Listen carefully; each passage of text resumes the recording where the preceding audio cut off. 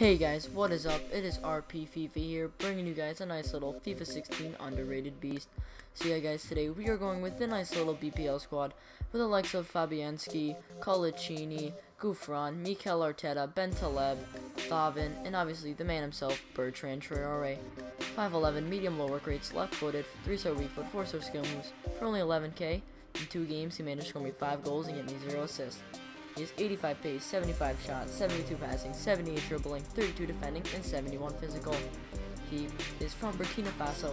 Here are his in-game stats. With the 87 acceleration, 83 sprint speed, 82 agility, 74 balance, 75 reactions, 77 dribbling, 74 finishing, 78 shot power, 76 long shots, with the 66 penalties, 55 heading, 26 stand tackle, 74 vision, 65 free kick, 75 curve, 68 jumping, 71 strength, 4 star skill moves, 3 star weak foot. Plays for Chelsea in the Barclays Premier League and he's from Burkina Faso. So here are some goals that I managed to score with Traore. He has great aggression as you can see there guys.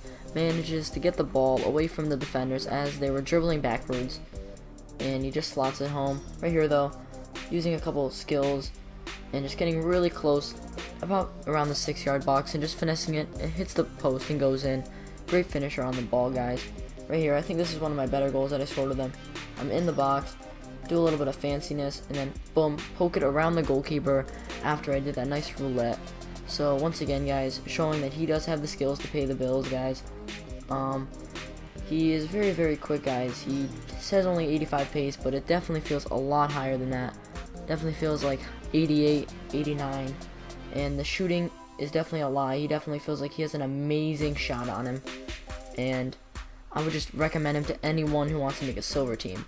Well guys, he's a beast. Thanks for watching. Please leave a like and always remember to subscribe. Peace out guys.